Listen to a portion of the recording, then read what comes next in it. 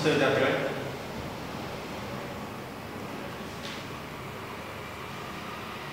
ಕೊನೆಯ ತರಗತಿಯಲ್ಲಿ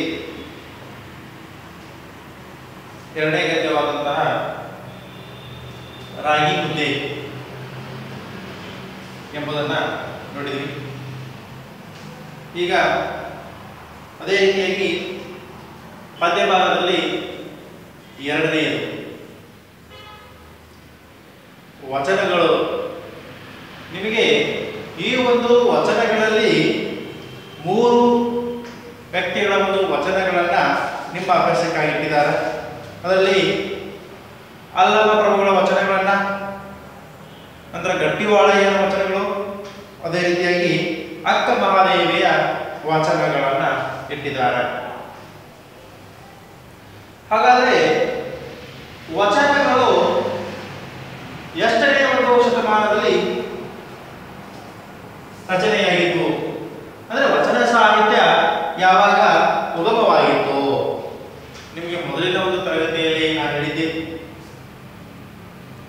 ವಚನ ಸಾಹಿತ್ಯ ಉಗಮವಾಗಿದ್ದು ಹನ್ನೆರಡನೇ ಶತಮಾನದಲ್ಲಿ ಅದನ್ನು ನಾವು ಅಂದರೆ ಹನ್ನೆರಡನೇ ಶತಮಾನವನ್ನು ನಾವು ಕನ್ನಡ ಸಾಹಿತ್ಯ ಚರಿತ್ರೆಯಲ್ಲಿನ ಸುವರ್ಣ ಯುಗ ಅಂತ ಕರೀತೀವಿ ಆ ಒಂದು ಹನ್ನೆರಡನೇ ಶತಮಾನದಲ್ಲಿ ಬಹಳಷ್ಟು ಸಾಹಿತ್ಯ ಪ್ರಕಾರಗಳು ಉಗಮವಾದವು ಅದಕ್ಕಾಗಿ ನಾವು ಕನ್ನಡ ಸಾಹಿತ್ಯ ಚರಿತ್ರೆಯಲ್ಲಿ ಆ ಒಂದು ಕಾಲಘಟ್ಟವನ್ನ ಕನ್ನಡ ಸಾಹಿತ್ಯ ಚರಿತ್ರೆಯ ಸುವರ್ಣ ಯುಗ ಅಂತ ಕರೀತೀವಿ ರಗಳೆ ಷಟ್ಪದಿ ಸಾಂಗತ್ಯ ಶತಕ ಈ ಒಂದು ವಚನ ಈ ಎಲ್ಲ ಸಾಹಿತ್ಯಗಳು ಇನ್ನೂ ಕೂಡ ಹಲವಾರು ಸಾಹಿತ್ಯ ಪ್ರಕಾರಗಳು ಉಗಮವಾಗಿದ್ದು ಹನ್ನೆರಡನೇ ಶತಮಾನದಲ್ಲಿ. ನಿಮಗೆ ಗೊತ್ತೇ ಇದೆ ಏನಂದ್ರೆ ಈ ಒಂದು ವಚನ ಸಾಹಿತ್ಯ ಯಾವುದಕ್ಕಾಗಿ ಉಗಮವಾಯಿತು? ಯಾವುದಕ್ಕಾಗಿ ಉಗಮವಾಯಿತು ಅಂತ. ಅಂದ್ರೆ ಆ ಒಂದು ಹನ್ನೆರಡನೇ ಶತಮಾನದ ಕಾಲದಲ್ಲಿ ಆ ಒಂದು ಸಮಾಜದಲ್ಲಿ ಏನಿತ್ತು ಅಂತಂದ್ರೆ ಬಹಳಷ್ಟು ತಾರತಮ್ಯ ಇತ್ತು. ಜಾತಿ ಲಿಂಗ, ಧರ್ಮ, ವರ್ಣ ಈ ಹಲವಾರು ರೀತಿಯಲ್ಲಿ ಸಮಾಜದಲ್ಲಿ ಜನರ ನಡುವೆ ಇವು ತಾರತಮ್ಯ ಭೇದ ಭಾವಗಳು ಇದ್ವು. ಅಲ್ಲಿ ಉಚ್ಚ ನೀಚ, ಬಡವ ಬಲ್ಲಿದ ಈ ರೀತಿ ಹಲವಾರು ರೀತಿಯಲ್ಲಿ ಆದರೆ ಕೆಲವೊಂದಿಷ್ಟು ಏನಾಗಿತ್ತು ಅಂತಂದ್ರೆ ಜನರಲ್ಲಿ ಒಂದು ತಿಳುವಳಿಕೆಯನ್ನು ಮೂಡಿಸಿದರೆ ಸಮಾಜದಲ್ಲಿರುವಂತಹ ಅಂತ ಮೌಢ್ಯತೆಗಳನ್ನ ಹೊಡೆದು ತೊಲಗಿಸಬಹುದು ಅನ್ನೋ ಒಂದು ಅನಿಸಿಕೆ ಬಂತು ಅದು ಯಾವ ರೀತಿ ಅದನ್ನ ಹೊಡೆದು ಸಮಾಜದ ಹೊರಗೆ ಹಾಕ್ಬೇಕಪ್ಪ ಹಾಗಾದ್ರೆ ನಾನು ಎಲ್ಲ ಜನರಿಗೆ ನಾವೇನಾದ್ರೂ ಹೇಳ್ತಾ ಹೇಳ್ತಾ ಹೋದ್ರೆ ಅದೇನಾದ್ರೂ ಕಡಿಮೆ ಆಗುತ್ತಾ ಅದು ಅಸಾಧ್ಯ ಅಂತ ಈ ಒಂದು ವಚನಕಾರರು ಏನ್ ಮಾಡಿದ್ರು ಅಂತಂದ್ರೆ ವಚನಗಳನ್ನೇ ತಮ್ಮ ಒಂದು ಸಾಧನ ತಮ್ಮ ಒಂದು ಶಸ್ತ್ರಗಳನ್ನ ಉಪಯೋಗಿ- ಉಪಯೋಗಿಸಿಕೊಂಡ್ರು ಆ ಒಂದು ವಚನಗಳನ್ನ ಏನು ಅವರು ರಚನೆಯನ್ನ ಮಾಡಿರಲ್ಲ ಆ ಒಂದು ವಚನಗಳ ಮುಖಾಂತರವೇ ಜನರಿಗೆ ತಿಳುವಳಿಕೆಯನ್ನ ಮೂಡಿಸಲಿಕ್ಕೆ ಪ್ರಾರಂಭವನ್ನು ಮಾಡಿದರು ಅಂದ್ರೆ ಸಮಾಜದಲ್ಲಿ ಈ ರೀತಿಯ ಒಂದು ವ್ಯವಸ್ಥೆ ಇಲ್ಲ ಅದು ನೀವು ಬೆಳೆಸಿಕೊಂಡು ಬಂದಂತಹ ಒಂದು ವ್ಯವಸ್ಥೆ ಸಮಾಜದಲ್ಲಿ ಹಲವಾರು ವರ್ಗಗಳನ್ನಾಗಿ ಮಾಡಿಕೊಂಡಿದ್ದೀರಿ ಆದ್ರೆ ಮೊದಲಿಂದಲೂ ಕೂಡ ಆ ರೀತಿಯ ವರ್ಗಗಳೇನಿಲ್ಲ ಅದು ನಿಮ್ಮಿಂದ ನೀವೇ ಮಾಡಿಕೊಂಡಿದ್ದು ಅದನ್ನು ಉಳ್ಳವರು ಮಾಡಿಕೊಂಡಿದ್ದಾರೆ ಅದಕ್ಕೆ ಅಂತಹ ಒಂದು ಸಂಪ್ರದಾಯದಿಂದ ನೀವು ಹೊರಗೆ ಬನ್ನಿ ಯಾವ ಜಾತಿಗಳು ಇಲ್ಲ ಯಾವ ಧರ್ಮಗಳು ಇಲ್ಲ ಲಿಂಗಗಳ ನಡುವೆ ಭೇದ ಭಾವವಿಲ್ಲ ಅದನ್ನು ನೀವೇ ಏನ್ ಮಾಡ್ತಾ ಇದ್ದೀರಾ ಸೃಷ್ಟಿಯನ್ನ ಮಾಡ್ತಾ ಇದ್ದೀರಾ ಅದಕ್ಕೆ ಉಚ್ಚ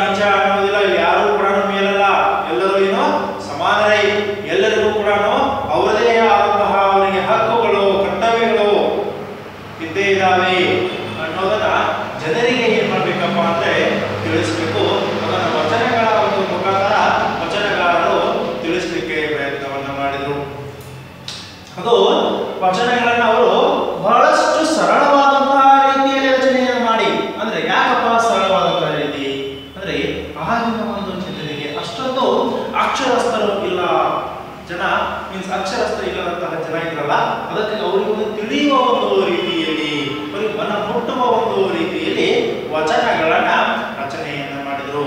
ಆ ವಚನಗಳ ರಚನೆಯಿಂದ ಸಮಾಜವನ್ನ ಸುಧಾರಣೆಯತ್ತ ಕೊಂಡೊಯ್ಯಲು ಸಾಧ್ಯವಾಗುತ್ತೆ ಅಂತ ಅವರು ದಾರಿಯನ್ನ ಹುಡುಕಿದ್ರು ವಚನಗಾರರು. ಅದೇ ರೀತಿಯಾಗಿ ಆ ಒಂದು ಜನರಿಗೆ ತಿಳುವಳಿಕೆ ಮುಟ್ಟಿಸುವಂತಹ ಬಹಳಷ್ಟು ವಚನಗಳನ್ನ ಸಾವಿರಾರು ವಚನ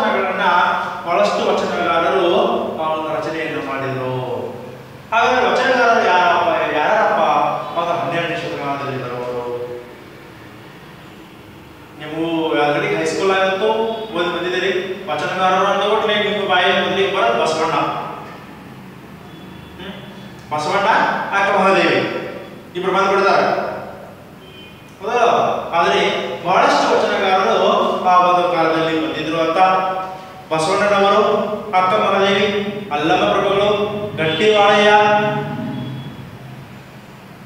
ಅದೇ ರೀತಿ ಚಂಡ ಬಸವಣ್ಣ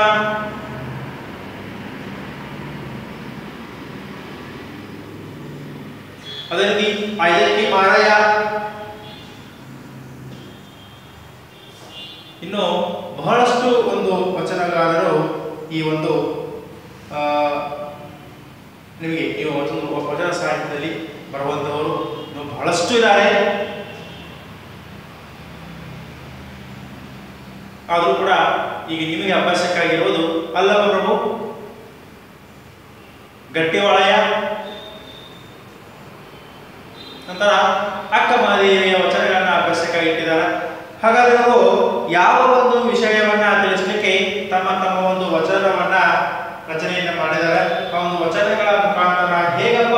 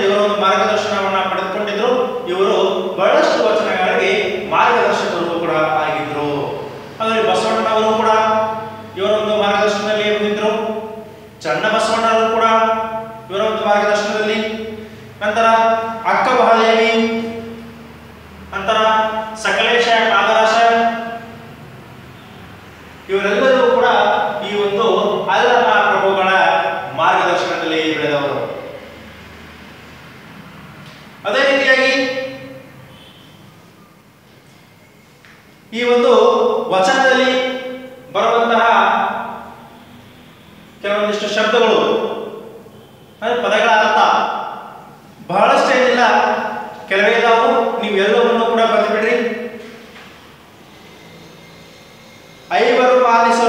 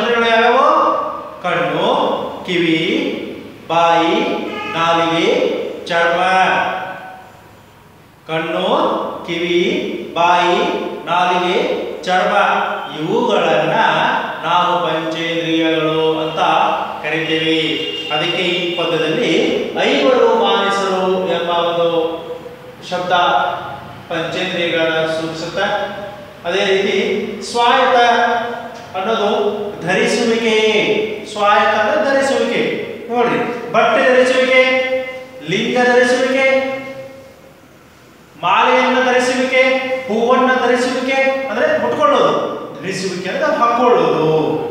ಅದಕ್ಕೆ ಸ್ವಾಯತ್ತ ಆಗ್ತದೆ ಧರಿಸುವಿಕೆ. ಮೇಳೆ.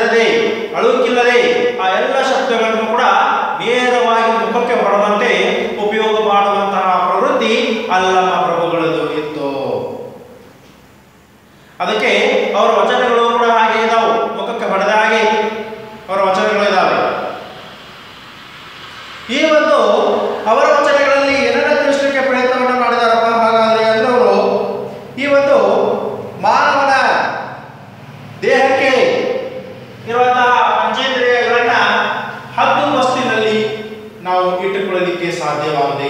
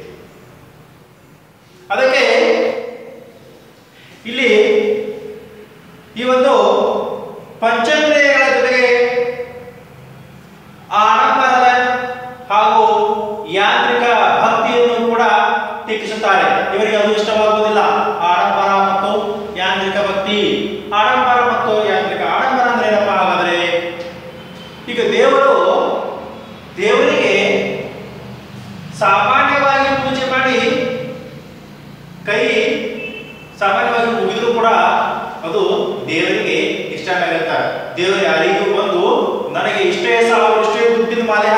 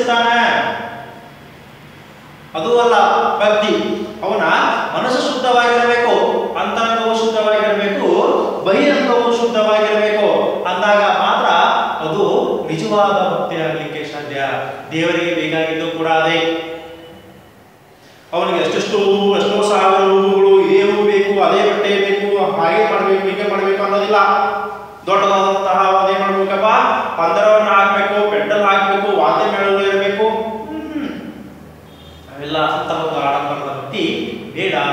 ಅವನು ಬೇಕಾಗಿದ್ದೇನಪ್ಪ ನಿಜವಾದಂತಹ ಭಕ್ತಿ. ಆ ಧಾರ್ಮಿಕ ಭಕ್ತರನ್ನ ಈ ಒಂದು ಅಲ್ಲ ಪ್ರಭು ನಂಬುವುದಿಲ್ಲ ಅಂತ. ಅದೇ ರೀತಿಯಾಗಿ ಆ ಒಂದು ದೇವರು ಆ ದೇವರು ಬೇರೆಯವರ ದೇವರಲ್ಲ ಅವನ ದೇವರಲ್ಲ ನಾನೇ ದೇವರು ಅಂತ ಇವನು ವಾದವನ್ನು ಮಾಡುವಂಥದ್ದು ಯಾರು ಅಲ್ಲಮ ಪ್ರಭುಗಳು ಅವನು ನಾನೇ ದೇವ ನನಗಿಂತ ಮೇಲಾದವರು ಯಾರಿಲ್ಲ ಬೇರೆ ದೇವರು ಕೂಡ ಯಾರೂ ಇಲ್ಲ ಅಂತ ಅಲ್ಲಮ ಪ್ರಭುಗಳು ವಾದವನ್ನು ಮಾಡಿತು ಈ ಒಂದು ವಚನಗಳಲ್ಲಿ ಇದೆ. ನೋಡೋಣ ಹಾಗಾದ್ರೆ ಯಾವ ರೀತಿ ಇವರ ಒಂದು ವಚನಗಳು ಇದಾವೆ ಅಂತ?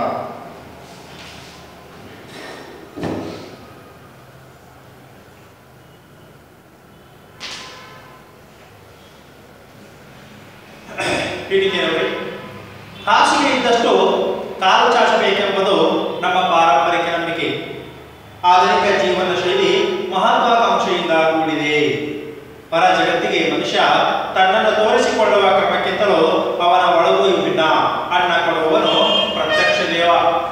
ಹೌದು, ಹಾಸಿಗೆ ಇದ್ದಷ್ಟು ಕಾಲು ಚಾಚಬೇಕೆಂಬುದು ನಮ್ಮ ಪಾರಂಪರಿಕ ನಂಬಿಕೆ. ನಿಜವಾಗಲೂ ಹಾಸಿಗೆ ಎಷ್ಟಪ್ಪ ಅಷ್ಟೇ ಕಾಲು ಚಾಚಬೇಕು. ಅಂದ್ರೆ ನಮ್ಮ ಶಕ್ತಿ ಎಷ್ಟಿದೆಯಲ್ಲ, ಅಷ್ಟೇ ಏನ್ ಅಂತ ಪ್ರಯತ್ನವನ್ನ ಪಡಬೇಕು. ಅದನ್ನ ಬಿಟ್ಟು ಹೆಚ್ಚಿ ಒಂದು ರೀತಿಯಲ್ಲಿ ನಾವು ಪ್ರಯತ್ನವನ್ನು ಪಡಬಾರದು. ಯಾಕಂದ್ರೆ ಅದು ಅನಾಹುತಕ್ಕೆ ಕಾರಣವಾಗುತ್ತೆ. ಹಾಸಿಗೆ ಅಂದ್ರೆ ಏನಪ್ಪ ಇಲ್ಲಿ ಅಂದ್ರೆ ಹಚ್ಕೊಳ್ಳುವಂತಹ ಹಾಸಿಗೆ ಅಲ್ರಿ. ಈಗಂತೂ ಅದೇ ಬೇರೆ ಥಂಡಿ ಸಮಯ. ಚಳಿ. ಇಲ್ರಿ. ಮತ್ತು ಆ ಹಾಸಿಗೆ ಹೋಗ್- ಹೋಗ್ಬೇಡ್ರಿ. ಅದನ್ನು ಹತ್ಕೊಳ್ಳುವಂಥ ಹಾಸಿಗೆ ಬೇರೆ. ಇಲ್ಲಿ ಒಂದು ಗಾದಿ ಆಗದಲ್ಲಿ ಏನಂತಂದ್ರೆ ನಮ್ಮ ಒಂದು ಶಕ್ತಿ ಮತ್ತು ಸಂಪತ್ತು ಎಷ್ಟಿದೆಯಲ್ಲ ಅಷ್ಟನ್ನೇ ಮಾತ್ರ ಏನ್ಬೇಕು ಪ್ರಯತ್ನ ಪಡಬೇಕು ಅನ್ನೋ ಒಂದು ಅರ್ಥ ಹಾಸಿಗೆ ಇದ್ದಷ್ಟು ಕಾಲು ಚಾಚಬೇಕು. ಅಂದ್ರೆ ನಮ್ಮಿಂದ ಎಷ್ಟು ಸಾಧ್ಯ ಆಗುತ್ತೆ? ಅಷ್ಟೇ ಏನ್ ಮಾಡ್ಬೇಕಪ್ಪ ಪ್ರಯತ್ನವನ್ನ ಮಾಡಬೇಕು. ಹೆಚ್ಚಿನದಂತ ಪ್ರಯತ್ನವನ್ನ ಮಾಡ ಮಾಡಬಾರದು ಅಂತ. ಆದ್ರೆ ಒಂದು ಆಧುನಿಕ ಜಗತ್ತಿನಲ್ಲಿ, ಅಂದ್ರೆ ಪ್ರಸ್ತುತ ಒಂದು ಕಾಲದಲ್ಲಿ ಆ ರೀತಿ ಇಲ್ಲ. ಈಗೇನಾಗಿದೆ ಅಂದ್ರೆ ಹೊರಗಿನ ಒಂದು ಜಗತ್ತಿಗೆ ಜನ ತೋರಿಕೆ ಅಂದ್ರೆ ತೋರಿಸಿಕೊಳ್ಳುವುದೇ ಬೇರೆ ಅವರ ಒಳಗಿನ ಒಂದು ಜೀವನವೇ ಬೇರೆ ಹೊರಗೆ ಏನಪ್ಪಾ ಅಂದ್ರೆ ಅವನು ದೊಡ್ಡದಾದಂತಹ ವ್ಯಕ್ತಿ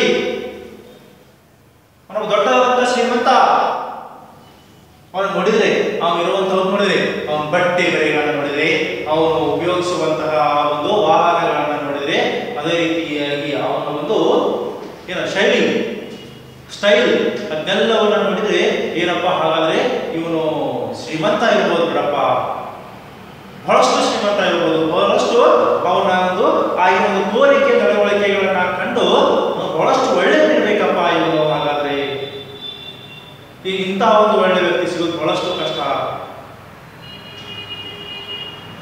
ಅಂತ ಅವನ ನೋಡಿದ ತಕ್ಷಣ ನಾವೇನ್ ಮಾಡ್ತೇವೆ ಅಂತ ಅಳ್ಕೊಳ್ತೇವೆ ಆದ್ರೆ ಅದು ಹೊರ ಜಗತ್ತಿಗೆ ಹೊರ ಜಗತ್ತಿಗೆ ತೋರಿಸುವಂತಹ ಅದೊಂದು ಮುಖವಾಡ ಈಗಿನ ಒಂದು ಜಗತ್ತಿನಲ್ಲಿ ನಡೆಯುವಂತಹ ಒಂದಿಷ್ಟೇ ಆ ಮುಖವಾಡಕ್ಕೆ ಬಹಳಷ್ಟು ಜನ ಏನಾಗ್ತಾ ಇದ್ದಾರೆ ಅಂದ್ರೆ ಬಲಿಯಾಗ್ತಾ ಇದ್ದಾರೆ ಆದ್ರೆ ಆ ಮುಖವಾಡ ಅವರ ಒಂದು ನಿಜವಾದಂತಹ ಜೀವನ ಅಲ್ಲ ಅದೇ ಹೊರ ಜಗತ್ತಿಗೆ ಮನುಷ್ಯ ತನ್ನನ್ನು ತೋರಿಸಿಕೊಳ್ಳುವ ಕ್ರಮಕ್ಕಿಂತಲೂ ಅವನ ಒಳಗು ವಿಭಿನ್ನ ಅದನ್ನ ಒಳ ಹಕ್ಕು ನೋಡಿದಾಗ ಅದು ವಿಭಿನ್ನತೆಯನ್ನ ತೋರಿಸುತ್ತೆ ನೋಡ್ರಿ ಈಗ ನೀವು ಕೂಡ ಏನ್ ಮಾಡ್ಬೋದು ಈಗ ನಿಮ್ ತಂದೆ ತಾಯಿಯರು ಏನ್ ಮಾಡ್ತಾರೆ ಅಂತಂದ್ರೆ ಆ ನಮ್ಮ ಕಲಿಯುವಂತಹ ಒಂದು ಹಂತ ನಮ್ಮ ಮಕ್ಕಳು ಚೆನ್ನಾಗಿ ಓದ್ಲಿ ಎಲ್ಲಿವರೆಗೂ ಈ ಪಿ ಯು ಸಿ ಆಗುವವರೆಗೆ ಈ ಒಂದು ನಿಯಂತ್ರಣದಲ್ಲಿ ಈ ಕೆಲವೊಂದಿಷ್ಟು ಜನ ನೋಡ್ರಿ.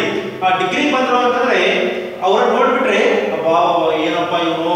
ಬಟ್ಟೆ ಏನು? ಬರೀ ಏನು? ಅಬ್ಬ, ಅವ್ನ ಶೂ ಏನು? ಅವ್ನ ಸ್ಟೈಲ್ ಏನು? ಅವ್ನ ಗಾಡಿ ಏನು? ಅವನ ನೋಡಿದ್ರೆ, ಯಾ ಲಕ್ಷಾಧೀಶ ಅಂತ ಅವ್ರ ಕೋಟ್ಯಾಧೀಶ ಬೇಕು. ಆ ರೀತಿ ಅಂತ ಆದ್ರೆ ಅದೆಲ್ಲದೂ ಕೂಡ ಅವ್ರ ಪೋಷಕರು ಕೊಟ್ಟಿದ್ದೇ ಅಂತ ಅದ್ರ ಒಳ ಹಕ್ಕು ನೋಡಿದಾಗ, ಆ ಒಳ ಹಕ್ಕಾಗ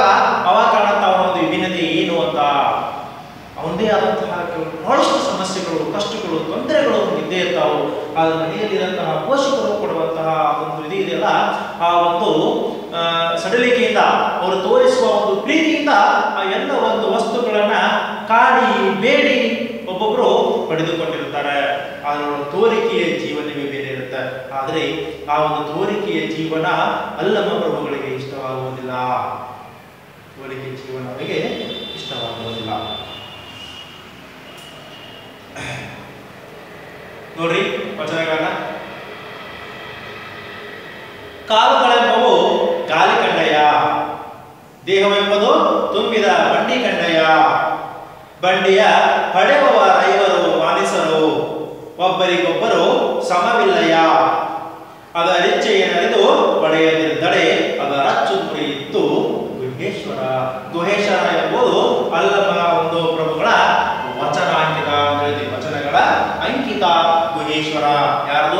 Allah mengumpulkan wacana kita, gue hei suara, mulai dari tanya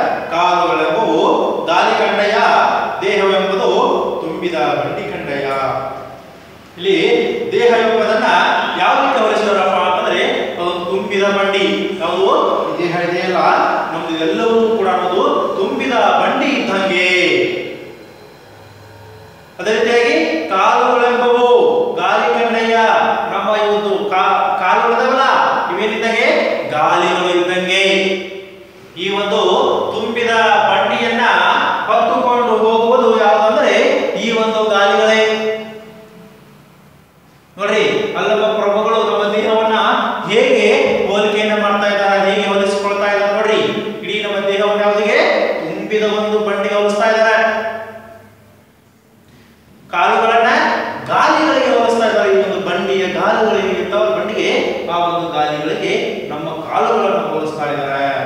ಬಂಡೆಯ ಹೊಡೆಯುವವರ ಇವರು ಕಾಣಿಸರು. ನೋಡ್ರಿ, ಈ ಬಂಡೆಯನ್ನ ಹೊಡೆಯುವವರು ಅಂದ್ರೆ ಚಲಿಸುವವರು. ಚಲ. ಈ ಒಂದು ಬಂಡೆಯನ್ನ ಮುಂದಕ್ಕೆ ಕಳಿಸುವವರು, ಮುಂದಕ್ಕೆ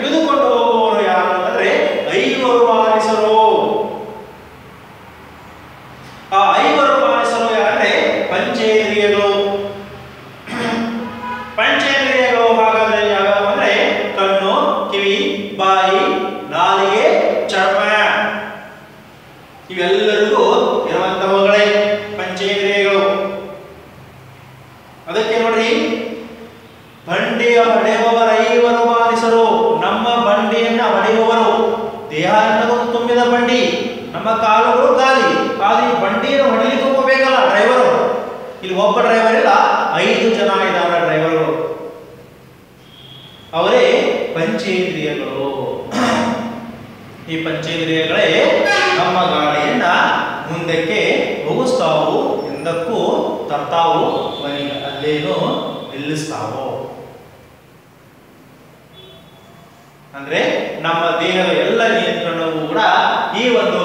ಶ್ರೀಗಳ ಕೈಯಲ್ಲಿ ಇದೆ. ಇದನ್ನು ಯಾವ ರೀತಿ ನಾವು ಇವುಗಳನ್ನ ಹತೋಟಿಯ ನಿಯಂತ್ರಣದಲ್ಲಿ ಇಟ್ಕೊಳ್ತೇವಲ್ಲ, ಅದೇ ರೀತಿಯಾಗಿ ಏನ್ ಮಾಡ್ತೇವೆ ಅಂತಂದ್ರೆ ನಮ್ಮ ದೇಹ ಸಾಗುತ್ತೆ.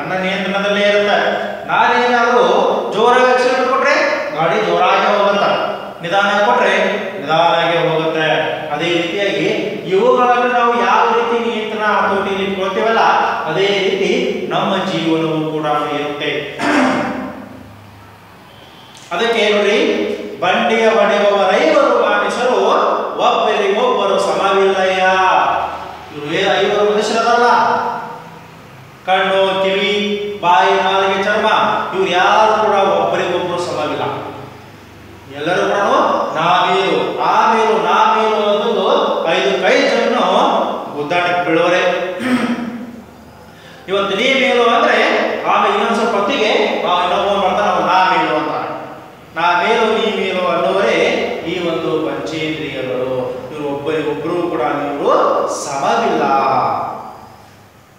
ಅದರ ಹೆಜ್ಜೆಯ ಅರಿದು ಒಡೆಯಲಿದ್ದಾನೆ ಅದರ ಅಚ್ಚು ಮುರಿಯತ್ತು ಗುಹೇಶ್ವರ. ಅದಕ್ಕೆ ಇದನ್ನ ನಮ್ಮ ಇಚ್ಛೆಗೆ ತಕ್ಕಂತೆ, ನಮ್ಮ ನಿಯಂತ್ರಣದಲ್ಲಿ, ನಮ್ಮ ಒಂದು ಹದ್ದು ಬಸ್ತಿನಲ್ಲಿ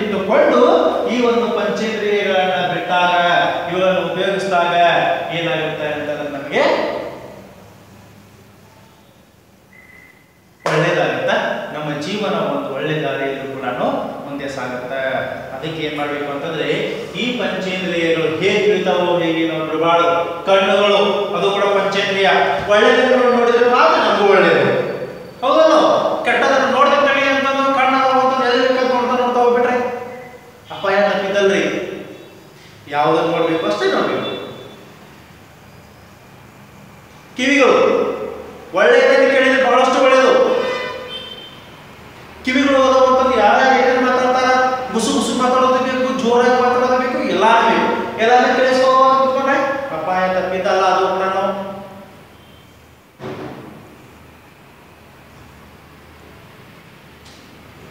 ಬಾಯಿ ಮಕ್ಕಳು ಹೇಗೆ ಬೇಕಾದ್ರೆ ಮಾತಾಡ್ಲಿಕ್ಕಾಗಲ್ಲ.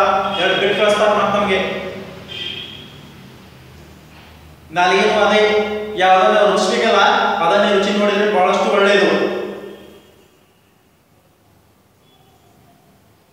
ಚರ್ಮ ಹಾ ಆ ಚರ್ಮ ಕೆಲವೊಂದು ಜನಕ್ಕೆ ಇರ್ತೈತಿ ಕೆಲವೊಂದು ಕೆಲವೊಂದು ಜನಕ್ಕೆ ಇರೋದಿಲ್ಲ ಅದು ಉಳಿಸ್ಕೊಳ್ಳುವಂತಹದ್ದು ಕೂಡ ನಮ್ಮ ಮೇಲೆ ಇರುತ್ತೆ ಹೇಳ್ತಾರಲ್ಲ ಚರ್ಮ ಬೆಟ್ಟದಿಲ್ಲ ಮಾವ ಅಂತಂದು ಹೌದು ಒಬ್ರು ಏನ್ ಮಾತಾಡ್ತಾರೆ ಅನ್ನೋದು ಗೊತ್ತಾಗಲ್ಲ ಅವ್ರು ಮಾಡುವಂತಹ ಕೆಲಸಗಳು ಕೂಡ ಸರಿ ಇರೋದಿಲ್ಲ ಆ ಮನೆಯಲ್ಲೂ ಕೂಡ ಅವ್ರು ಸರಿಯಾಗಿರುವುದಿಲ್ಲ ಪೋಷಕರ ಜೊತೆಗೆ ಅವ್ರು ಬೆಳೆದು ಬಂದಂತಹ ಒಂದು ಸಂಸ್ಕೃತಿ ಹೇಗಿರುತ್ತೆ ಏನು ಗೊತ್ತಿಲ್ಲ ಅಥವಾ ಅವ್ರು ಬೆಳೆಸಿಕೊಂಡಂತಹ ಒಂದು ಅಂದ್ರೆ ಅವರ ಒಂದು ಸ- ಏನಪ್ಪ ಸರ್ಕಲ್ ಕೆಲವೊಂದಿಷ್ಟು ಜನ ಹಾಗೆ ಇರ್ತಾರೆ ಮೊದಲ ಒಳ್ಳೆಯದಿರ್ತಾರೆ ಬಟ್ ಅವರ ಒಂದು ಸಹವಾಸ ದೋಷ ಬೇರೆ ಬೇರೆ ಜೊತೆಗೆ ಒಂದು ಸಹವಾಸ ಇಟ್ಟುಕೊಳ್ಳುವುದರಿಂದ ಅವರು ಕೂಡ ಅವರ ಒಂದು ಗುಣಗಳನ್ನ ಬೆಳೆಸ್ಕೊಂಡು ಬಿಟ್ಟಿರ್ತಾರೆ ಈ ಒಂದು ಸಮಯದಲ್ಲಿ ಜಾಸ್ತಿ ಹೈಸ್ಕೂಲ್ ಮುಗಿಸ್ಕೊಂಡು ಬಂದಿರ್ತೀವಿ ಪಿ ಯು ಸಿಗೆ ಯಾರ್ಯಾರು ಹೇಗೆ ಅದಾರೋ ಏನು ನಮಗಂತೂ ಒಂದು ಗೊತ್ತಿಲ್ಲ ಅವ್ರ ಜೊತೆ ನಮ್ಮ ಫ್ರೆಂಡ್ಶಿಪ್ ಇರ್ತೈತಿ ಒಳ್ಳೆಯವನಾದ ನಾವು ಒಳ್ಳೆಯವ ಚೆನ್ನಾಗಿ ಓದ್ಬೇಕಪ್ಪ ಚೆನ್ನಾಗಿ ಓದೋರು ಚೆನ್ನಾಗಿ ಸ್ಕೋರ್ ಮಾಡೋಣ ಅಂದ್ರೆ ನಮಗೂ ಅವ್ರು ಚೆನ್ನಾಗಿ ನಾನು ಓದ್ಬೇಕಪ್ಪ ನಾನು ಚೆನ್ನಾಗಿ ಸ್ಕೋರ್ ಮಾಡಬೇಕು ಅನ್ನೋದು ಬೆಳೆಯುತ್ತೆ ಅವ್ರೇನಾದ್ರು ಚಟ ಮಾಡ್ಬೇಕಲ್ಲ ಅಂದ್ರೆ ಅವ್ರ ಜೊತೆಗೆ ಸೇರಿ ನಾವು ಚಟ ಮಾಡಿ ಆದಷ್ಟು ಬೇಗ ಚಟ್ಟಕ್ಕೆ ಏರ್ಬಿಡೋದಪ್ಪ ಈ ರೀತಿಯೂ ಕೂಡ ಇರುತ್ತೆ. ಬಟ್ ಆ ರೀತಿ ಬೇಡ. ನಮ್ಮ ಮನೆಯವರು, ನಮ್ಮ ಪೋಷಕರು ಒಂದು ನಂಬಿಕೆಯನ್ನ ಇಟ್ಟುಕೊಂಡು ನಮ್ಮನ್ನ ಈ ಒಂದು ಶಿಕ್ಷಣಕ್ಕೆ, ಶಿಕ್ಷಣವನ್ನು ಕಲಿಯೋದಕ್ಕೆ ಒಂದು ಅವಕಾಶವನ್ನ ಮಾಡಿಕೊಟ್ಟಿದ್ದಾರೆ ಅಂತಂದ್ರೆ ನಾವು ಅದನ್ನು ಕಲಿತು ಅವರ ನಂಬಿಕೆಯನ್ನು ಉಳಿಸುವಂತಹ ಕೆಲಸವನ್ನ ಮಾಡಬೇಕು. ಕೂಡ ನಾವೇನ್ ಮಾಡಬೇಕು?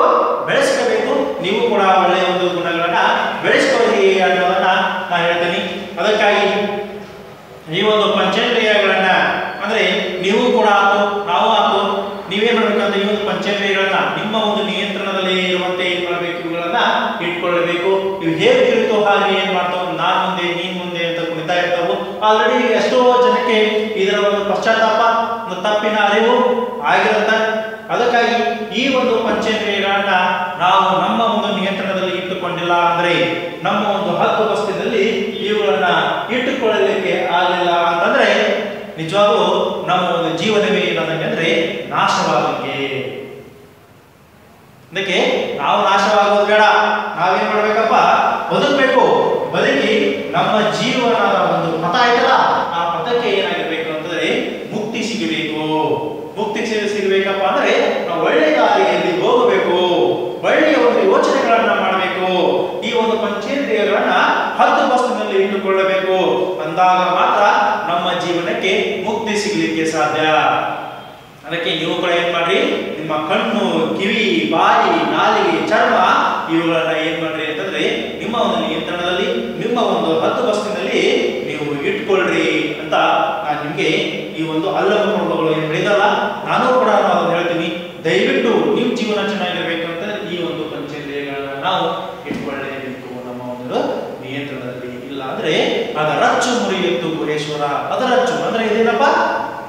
ಬಂಡಿ, ಕಾಲು ಪಂಚಾಯತಿಗಳು ಹೊಡೆಯವರಾಯವರು ಮಾನಿಸರು ಅವ್ರು ಹೇಗೆ ತಿರುಗಿತು ಹಾಗೆ ಬಿಟ್ಬಿಟ್ರೆ ಅಚ್ಚು ಮುರಿಯೋದು ನೋಡಿ ಒಂದು ಬಂಡಿ ಅಚ್ಚು ಇರ್ತೈತಿ ಆ ಅಚ್ಚು ಮುರಿತು ಅಂದ್ರೆ ಅದು ಬಂಡಿ ಆಗೋದಿಲ್ಲ.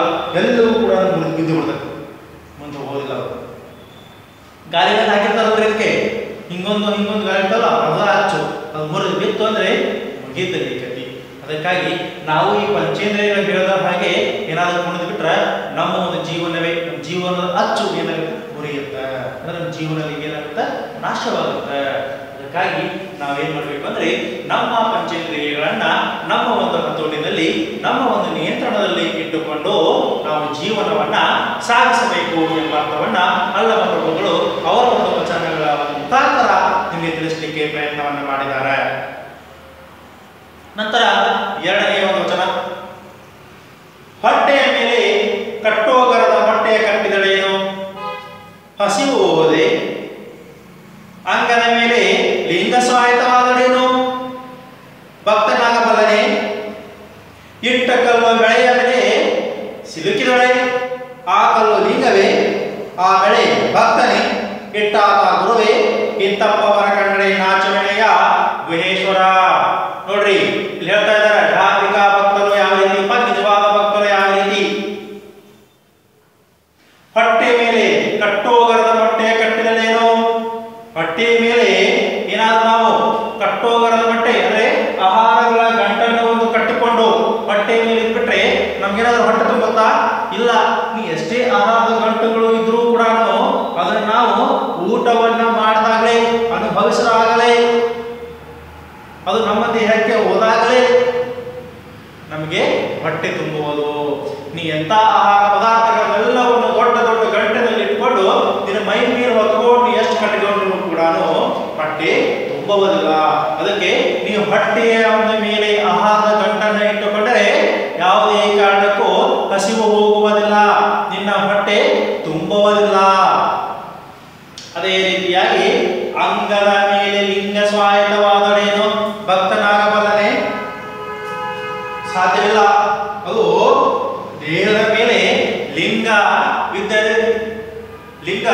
ಇದ್ದವರಿಗೆಲ್ಲ ಆದರೆ ಲಿಂಗವನ್ನ ಧರಿಸ್, ಧರಿಸುವವರೆಲ್ಲರೂ ಕೂಡ ಭಕ್ತನಾಗಲಿಕ್ಕೆ ಸಾಧ್ಯವಿಲ್ಲ. ಒಬ್ಬರು ತೋರಿಕೆಗಾಗಿ ಧರಿಸುವವರೆಂದರೆ ಒಬ್ಬರು ಭಕ್ತಿಗಾಗಿ ಒಳ್ಳೆಯ ಒಂದು ಶುದ್ಧ ಮನುಷ್ಯನಿಂದ ಆ ಒಂದು ಲಿಂಗವನ್ನ ಧರಿಸುವವರಿದ್ದಾರೆ. ಅದಕ್ಕಾಗಿ ಆ ಒಂದು ಲಿಂಗವನ್ನ ಧರಿಸುವವರೆಲ್ಲರೂ ಕೂಡ ಭಕ್ತರಲ್ಲ, ಭಕ್ತರಾಗಲಿಕ್ಕೆ ನಾವು ಸಾಧ್ಯವಿಲ್ಲ. ಯಾಕೆಂದ್ರೆ ಒಂದು ಭಕ್ತರಾಗಬೇಕು ಅಂದರೆ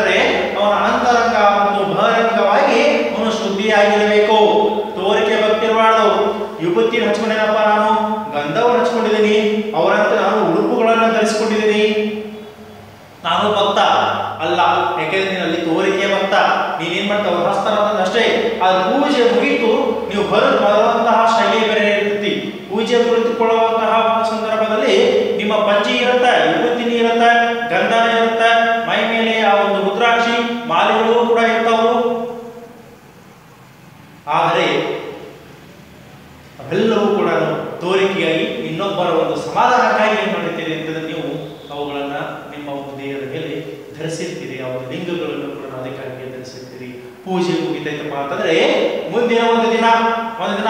ಅಷ್ಟೇ ಸಾಕು. ನಿಮ್ಗೆ ಆ ಕೆಟ್ಟದ್ದು ಒಂದು ಕೂಡ ಇರುವುದಿಲ್ಲ, ಮೈ ಮೇಲೆ. Jeans pant T shirt shoes ಒಂದು ಹೇರ್ ಸ್ಟೈಲ್ ಬೇರೆ ಎಲ್ಲವೂ ಕೂಡ ಬದಲಾವಣೆ ಆಗಿಬಿಡುತ್ತೆ. ಅವರನ್ನು ಹೇಗೆ ನಾವು ಭಕ್ತನಾಗ್ಲಿಕ್ಕೆ ಸಾಧ್ಯ ಭಕ್ತ ಅಂತ ನನ್ಲಿಕ್ಕೆ ಸಾಧ್ಯ ಅಲ್ಲ. ಅವನು ನಿಜವಾದ ಭಕ್ತನಲ್ಲ. ತೋರಿಕೆಯ ಭಕ್ತ, ಧಾರ್ಮಿಕ ಭಕ್ತ ಅಂತ ಹೇಳಬೇಕು. ಯಾಕಂದ್ರೆ ಅವನು ನಿಜವಾದ ಭಕ್ತನಾದವನು ಆ ಒಂದು ಭಕ್ತ ಯಾವ ರೀತಿ ಇರಬೇಕು ಅವನ ಕಾಯಕ ಏನು ಅವನ ಕರ್ತವ್ಯ ಏನು ಶಿವನ ಪೂಜೆಯನ್ನ ದಿನಂಪ್ರತಿ ಅವನು ಮಾಡ್ತಾ ಇರಬೇಕು. ಶಿವನ ಒಂದು ಶಿವ ಧ್ಯಾನವನ್ನು ಮಾಡ್ತಾ ಇರಬೇಕು. ಅವನನ್ನು ನಾವು ಭಕ್ತ ಅಂತ ಹೇಳ್ತಾ ಹೇಳ್ತೀವಿ. ಅದನ್ನ ಬಿಟ್ಟು ಹಬ್ಬ ಬಂದಾಗ ಒಂದ್ಸರಿ ಹೋಗಿ ಓದ್ಕೊಂಡು ಕೈ ಮುಗಿದು ಕೂತ್ಬಿಟ್ರಿ ಅವನು ಭಕ್ತನಾಗ್ಲಿಕ್ಕೆ ಸಾಧ್ಯವಿಲ್ಲ. ಅದೇ ರೀತಿ ಅಂಗದ ಮೇಲೆ ಲಿಂಗ, ಅಂದ್ರೆ ನಮ್ಮ ಒಂದು ದೇಹದ ಮೇಲೆ ಯಾರು ಎಲ್ಲರೂ ಕೂಡ ಲಿಂಗವನ್ನ ಧರಿಸಿದಾರ ಅಂದ ಮೇಲೆ ಎಲ್ಲರೂ ಕೂಡ ಭಕ್ತನಾಗ್ಲಿಕ್ಕೆ ಸಾಧ್ಯವಿಲ್ಲ. ಇಟ್ಟ ಕಲ್ಲು, ಬೆಳೆಯ ಮೇಲೆ ಸಿಲುಕಿದೊಡೆ ಆ ಕಲ್ಲು ಲಿಂಗವೇ. ನೋಡ್ರಿ, ಈ ಒಂದು ಇಟ್ಟ ಕಲ್ಲು ಬೆಳೆಯ ಮೇಲೆ. ಒಂದು ಕಲ್ಲು ಏನ್ ಮಾಡಿದೆವಪ್ಪ ಅಂತಂದ್ರೆ ಏನೋ ಒಂದು ಇಟ್ಟಿದ್ದೀವಿ. ಆ ಒಂದು ಕಲ್ಲಿನ ಸುತ್ತಲೂ ಕೂಡ ಏನ್ ಮಾಡಿದೆ? ಬೆಳೆ, ಅಂದ್ರೆ ಹುಲ್ಲು, ಪೊದೆ. ಪೊದೆ ಏನಾಗಿದೆ ಅಂತಂದ್ರೆ ಬೆಳೆದು ನಿಂತ್ಬಿಟ್ಟಿದೆ ಯಾರೋ ಏನ್ ಮಾಡಿದ್ರು ಅಂತ ಕಲ್ಲನ್ನ ಉದಿದ್ರು ಆ ಕಲ್ಲನ್ನ ಇಟ್ಟಿದ್ರು. ಆ ಕಲ್ಲನ್ನ ಇಟ್ಟಿದ್ದಕ್ಕಾಗಿ ಅಲ್ಲೆಲ್ಲವೂ ಕೂಡ ಏನಾಗ್ತದೆ ಅಂತಂದ್ರೆ ಆ ಒಂದು ಹುಲ್ಲು ಮತ್ತು ಆ ಒಂದು ಪೊದೆ ಬೆಳೆದು ನಿಂತ್ಕೊಂಡ್ಬಿಟ್ಟಿದೆ. ಅದಕ್ಕಾಗಿ ನಾವು ಆ ಒಂದು ಕಲ್ಲಿಗೆ ಲಿಂಗ ಅನ್ನಲಿಕ್ಕೆ ಸಾಧ್ಯವಾ? ಇಲ್ಲ. ಮೊದಲಿಂದಲೂ ಕೂಡ ಆ ಒಂದು ಲಿಂಗಗಳು ಎಲ್ಲಿ ತೋರಿಸ್ತಾವ ಅಂತಂದ್ರೆ ಪೊದೆಯ ಒಳಗೆ. ಪೊದೆಯ ಒಳಗೆ ಆ ಒಂದು ದೇವರ ಲಿಂಗಗಳು ಉದ್ಭವ ಆಗ್ತಾವು ಅದಕ್ಕಾಗಿ ಯಾರೋ ಕಲ್ಲನ್ನ ಒಗೆದು ಅದರ ಸುತ್ತ ಹುಲ್ಲು ಬೆಳೀತು, ಪೊದೆ ಬೆಳೀತು, ಅದಕ್ಕಾಗಿ ಆ ಕಲ್ಲಿಗೆ ನಾವು ಏನಾದರೂ ಲಿಂಗ ಅನ್ನಲಿಕ್ಕೆ ಸಾಧ್ಯವಾ? ಇಲ್ಲ. ಲಿಂಗ ಅದರದೇ ಆದಂತಹ ಅದಕ್ಕೊಂದು ಸ್ಥಾನ ಇದೆ. ಅದರದೇ ಆದಂತಹ ಒಂದು ಮಹತ್ವವಿದೆ. ಎಲ್ಲದಕ್ಕೂ ಹೋಗ್ಬಿಟ್ರೆ ಎಲ್ಲೂ ಕಲ್ಲುಗಳು ಕೂಡ ಏನಾಗ್ಬಿಡ್ತಾವ ಅಂತಂದ್ರೆ ಲಿಂಗಗಳೇ ಆಗ್ಬಿಡ್ತಾವ. ಅದಕ್ಕಾಗಿ ಆ ಕಲ್ಲು ಯಾವುದೇ ಕಾರಣಕ್ಕೂ ಲಿಂಗವಾಗಲಿಕ್ಕೆ ಸಾಧ್ಯವಿಲ್ಲ.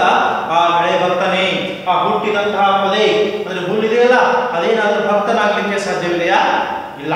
ಅಂದ್ರೆ ಆ ಕಲ್ಲು ಲಿಂಗ, ಆ ಲಿಂಗ ಏನಾಗಿದೆ ಅಂತ ಲಿಂಗದ ಸುತ್ತಮುತ್ತಲೂ ಕೂಡ ಹುಲ್ಲು ಬೆಳೆದುಕೊಂಡು ನಿಂತ್ಕೊಂಡ್ಬಿಟ್ಟಿದೆ. ಅಂದ್ರೆ ಅದಕ್ಕೆ ಭಕ್ತಿ ಹೆಚ್ಚಾಗಿದೆ ಅಂತಾರೆ ಇಲ್ಲ. ಆ ಒಂದು ಹುಲ್ಲು ಕೂಡ ಒಂದು ಪೊದೆ ಒಂದು ಬೆಳೆ ಕೂಡ ಭಕ್ತನಾಗ್ಲಿಕ್ಕೆ ಸಾಧ್ಯವಿಲ್ಲ. ಹಿಟ್ಟಾದ ಗುರುವೇ, ಹಾಗಾದ್ರೆ ಆ ಕಲ್ಲನ್ನು ಅಲ್ಲಿನೋ ಒಗೆದಿರ್ತಾನ ಅಂದ್ರೆ ಇಟ್ಟಿರ್ತಾನಲ್ಲ ಆ ಒಂದು ವ್ಯಕ್ತಿಗೆ ನಾವೇನಾದ್ರೂ ಗುರು ಅಂತ ಬರಲಿಕ್ಕೆ ಸಾಧ್ಯವಾ? ಸಾಧ್ಯವಿಲ್ಲ. ಇಲ್ಲ. ಅವನು ಗುರು ಆಗಲಿಕ್ಕೂ ಸಾಧ್ಯವಿಲ್ಲ. ಆ ಕಲ್ಲು ಲಿಂಗ ಲಿಂಗ ಆಗಲಿಕ್ಕೂ ಸಾಧ್ಯವಿಲ್ಲ. ಅಲ್ಲಿ ಬೆಳೆದಂತಹ ಪೊದೆ, ಬೆಳೆ, ಹುಲ್ಲು ಇದೆಯಲ್ಲ, ಅದು ಭಕ್ತನಾಗಲಿಕ್ಕೂ ಕೂಡ ಸಾಧ್ಯವಿಲ್ಲ. ಇಂತಪ್ಪವರ ಕನ್ನಡೆ ನಾಚುನಯ್ಯ ಗುಹೇಶ್ವರ ಇಂತಪ್ಪವರನ್ನ ಕಂಡರೆ ಅಲ್ಲಮ್ಮ ಪ್ರಭುಗಳಿಗೆ ಏನಾಗುತ್ತಂದ್ರೆ ನಾಚಿಕೆ ಬರುತ್ತೆ. ಏನಪ್ಪ ಇಂಥ ಜನ ಇದಾರಲ್ಲ ಅಂತ ಅವರನ್ನು ನೋಡ್ಲಿಕ್ಕೆ ಕೂಡ ಅವನಿಗೆ ಮನಸ್ಸು ಬರಲ್ಲ ಯಾಕಂದ್ರೆ ಎಲ್ಲರೂ ಕೂಡ ಧಾರ್ಮಿಕ ಭಕ್ತರು. ನಿಜವಾದ ಭಕ್ತರು ಅವರೆಲ್ಲ. ಅವರೆಲ್ಲರೂ ಧಾರ್ಮಿಕ ಭಕ್ತರು ಅಂತ ಅಲ್ಲಮ್ಮ ಪ್ರಭುಗಳು ಹೇಳ್ತಾ ಇದ್ದಾರೆ. ಕೊನೆಯಲ್ಲಿ ನೋಡ್ರಿ. ನಾ ದೇವನಲ್ಲದೆ ನೀ ದೇವನೇ. ನೋಡ್ರಿ ಪ್ರಶ್ನೆ ಮಾಡ್ತಾ ಇದ್ದಾರೆ. ನಾ ದೇವನಲ್ಲದೆ ನೀ ದೇವನೇ. ನೀ ದೇವನಾದೆ ಎನ್ನನೇಕೆ ಸಲಹೆ ಆರೈದು ಒಂದು ಕುಡಿತೆ ಉದಕವೆನವೆ ಹಸದಾಗ ಒಂದು ತುತ್ತು ನಾ ದೇವಗಾಣ ಗುಹೇಶ್ವರ ನೋಡ್ರಿ ಯಾವ ರೀತಿ ಅಲ್ಲಮ್ಮ ಪ್ರಭುಗಳು ನಾನೇ ದೇವ ಅನ್ನೋದು ಹೇಳ್ಕೊಳ್ತಾ ಇದ್ದಾರೆ ನಾ ದೇವನಲ್ಲದೆ ನೀ ದೇವನೇ ಹೇಳ್ತಾ ಇದ್ದಾರ ನಾನೇ ನಾನು ದೇವರಲ್ಲ ಅಂತ ಹೇಳ್ತಿದ್ದಿಲ್ಲ ನಾ ದೇವರ ನಾ ದೇವರಲ್ಲ ಅಂದ್ರೆ ನೀ ದೇವರ ಹಾಗಾದ್ರೆ ನೀನೇನಾದ್ರೂ ದೇವರಾದ್ರೆ ನೀನು ಯಾವ ಯಾವ ಒಂದು ಕಾರ್ಯಗಳನ್ನ ಮಾಡ್ತಾ ಇದೀಯಾ ಯಾವ ಒಂದು ಕರ್ತವ್ಯಗಳನ್ನ ನಿರ್ವಹಿಸ್ತಾ ಇದೀಯಾ ನಿನ್ನ ಭಕ್ತರಿಗೆ ಯಾವ ರೀತಿ ನೀನು ಸಹಾಯವನ್ನ ಮಾಡ್ತಾ ಇದೀಯಾ ಅಂತ ದೇವರನ್ನೇ ಪ್ರಶ್ನೆಯನ್ನ ಮಾಡ್ತಾ ಇದ್ದಾರೆ ಇಲ್ಲಿ ಯಾರು ಅಲ್ಲಮ್ಮ ಪ್ರಭುಗಳು ನೀ ದೇವನಾದ್ರೆ ಎನ್ನ ನೇಕೆ ಸಲಹೆ? ನೋಡ್ರಿ ಒಂದ್ ವೇಳೆ ನೀನಾದ ದೇವರಾದ್ರೆ ನೀನ್ ನನ್ನನ್ನ ಏಕೆ ಸಲಹುವುದು ಆಗುತ್ತಿಲ್ಲ ನೀನು ನನ್ನನ್ನು ಏಕೆ ಸಲಹುತ್ತಿಲ್ಲ? ಅಂತಂದು ಹೇಳ್ತಾ ಇದ್ದಾರೆ ಯಾರು? ಅಲ್ಲಮ್ಮ ಪ್ರಭುಗಳು. ಆ ಐದು ಒಂದು ಕುಡಿದೆ ಉದಕವ ನೆರವೇ. ನೋಡ್ರಿ, ಯಾರಾದ್ರೂ ಬಂದು ನನಗೆ ನೀರನ್ನು ಕುಡಿ, ಕುಡಿಯಲಿಕ್ಕೆ ನನಗೇನಾಗಿದೆ? ಬಾಯಾರಿಕೆ ಆಗಿದೆ ತೃಷೆ ಈ ಒಂದು ಬಾಯಾರಿಕೆ ಆಗಿದೆ ಅದು ನೀರನ್ನ ಕೊಡಿ ಅಂತಂದ್ರೆ ನಮ್ಮ ಹೋಗಿ ಏನ್ ಮಾಡ್ತೀನಿ? ನೀರನ್ನ ಕೊಡ್ತೀನಿ. ನೀರನ್ನ ಕುಡಿಸ್ತೀನಿ. ಅವ್ರನ್ನ ಜೀವವಾಗ ಉಳಿಸ್ತೀನಿ. ನೀರನ್ನ ಕೊಡ್ತೀನಿ. ನೀನೇನ್ ಮಾಡ್ತೀಯಾ? ನಾನು ನಿಂತ್ಕೊಂಡು ನೀರನ್ನ ಕೊಡು ಅಂತಂದ್ರೆ ನೀ ಬಂದು ಏನಾದ್ರು ನೀರನ್ನು ಕೊಡ್ತೀಯಾ? ಇಲ್ಲ. ನಿನ್ ಕೈಯಿಂದ ಅದು ಇಲ್ಲ. ಅದಕ್ಕಾಗಿ ಇಲ್ಲಿ ದೇವರು ಯಾರು? ನಾನು. ಯಾಕಂದ್ರೆ ಅವ್ನು ಬೇಕಾದಂತಹ ಒಂದು ನೀರನ್ನ ಇಲ್ಲಿ ಏನ್ ಮಾಡ್ತಾ ಇದ್ದೀನಿ? ನಾನು ಕೊಡ್ತಾ ಇದ್ದೀನಿ. ಅಂದಾಗ ಅಲ್ಲಿಗೆ ಅವನ ಅವನೊಂದು ಪಾಲಿಗೆ ನಾ ದೇವರೇ ಮತ್ತು ನೀ ದೇವರಲ್ಲ. ಹಸಿದಾಗ ಒಂದು ತುತ್ತು ಹೋಗರವಣಿಕೆವೆ ಹಸಿವಿನಿಂದ ಬಂದಂತಹರಿಗೆ ಹಸಿವು ಅಂತ ಬಂದಂತರಿಗೆ ನಾನು ಒಂದು ತುತ್ತು ಅನ್ನವನ್ನಾದರೂ ಇಡುವೆ ಹೋಗರ ಅಂದ್ರೆ ಅನ್ನ ಅವನು ಒಂದು ತುತ್ತು ಅನ್ನವನ್ನ ನಾನು ನೀಡುತ್ತೇನೆ. ಅವರ ಹಸುವನ್ನು ನೀಗಿಸುವಂತಹ ಶಕ್ತಿ ನನಗಿದೆ. ನಾವು ಹಸಿವನ್ನು ನಾವು ನೀಗಿಸ್ತೇನೆ. ಆದರೆ ಆ ಶಕ್ತಿ ನಿನಗಿದೆಯಾ? ಆ ಶಕ್ತಿ ನಿನಗಿದೆಯಾ? ಬಾ ಹಾಗಾದ್ರೆ. ನನಗೇನ್ ಮಾಡಿ ಅಣ್ಣವನ್ನು ಅನ್ನವನ್ನು ನೀಡು. ಹೋಗರವನ್ನಿತ್ತು ನೋಡೋಣ. ಸಾಧ್ಯವಿಲ್ಲ. ಅದಕ್ಕಾಗಿ ಇಲ್ಲಿ ಯಾರು ದೇವರು? ನಾ ದೇವರೇ ಹೊರತು ನೀ ದೇವರಲ್ಲ ಅಂತ ಆ ದೇವರಿಗೆ ಪ್ರಶ್ನೆಯನ್ನು ಮಾಡ್ತಾ ಇದ್ದಾರೆ. ಅದಕ್ಕೆ ನಾ ದೇವ ಕಾಣ ಗುಹೇಶ್ವರ ಅದಕ್ಕಾಗಿ ಇಲ್ಲಿ ಯಾರು ದೇವರು? ನಾನೇ ದೇವರೇ ಹೊರತು ನೀ ದೇವರಾಗಲಿಕ್ಕೆ ಸಾಧ್ಯವಿಲ್ಲ. ಯಾಕಂದ್ರೆ ಅಲ್ಲಿರುವಂತಹ ಭಕ್ತರು, ಆ ಜನರು ಕಷ್ಟದಲ್ಲಿದ್ದಾಗ ಅವರಿಗೆ ಸಹಾಯ ಮಾಡುವವನೇ ದೇವರು. ಅವರಿಗೆ ಒಂದು